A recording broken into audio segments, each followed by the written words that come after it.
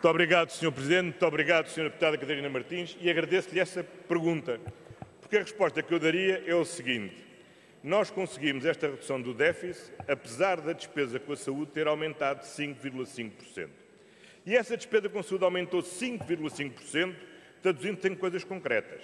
Olha, traduziu-se, ao longo destes dois anos, em mais 2 mil novos médicos no Serviço Nacional de Saúde, em mais 2.800 novos enfermeiros no Serviço Nacional de Saúde, em mais 200 novos técnicos de diagnóstico no Serviço Nacional de Saúde, em 600 novos trabalhadores de categorias diversas no Serviço Nacional de Saúde. Traduziu-se em que 92% dos portugueses, no final do ano passado, já tinham médico de família. Traduziu-se em que houve um aumento das consultas médicas nos cuidados de saúde primários de mais de 462.500 consultas.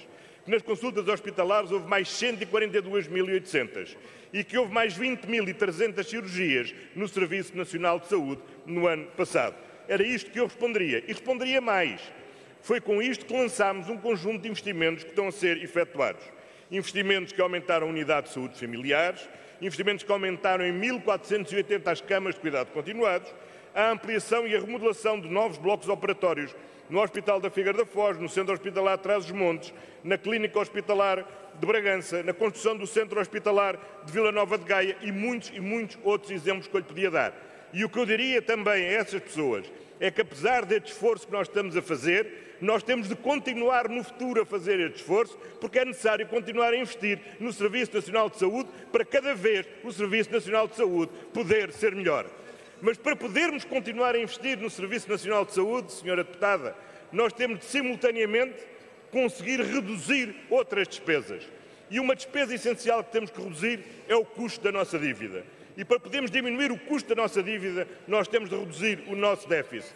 E é graças à redução do déficit que nós temos vindo a diminuir a dívida, é graças à diminuição da dívida que nós diminuímos os encargos com os juros e é graças à diminuição dos encargos com os juros que nós podemos investir mais em proteção social, mais em saúde, mais em educação, mais na criação de emprego, mais naquilo que é necessário para o país se desenvolver com maior justiça e com maior equidade. É isso que nós temos de fazer e isso implica também finanças públicas sãs, porque quem está nas salas de espera sabe bem quando as finanças públicas não estão sãs, os primeiros a pagar são precisamente eles, aqueles que não podem ter outro serviço que não seja o Serviço Nacional de Saúde.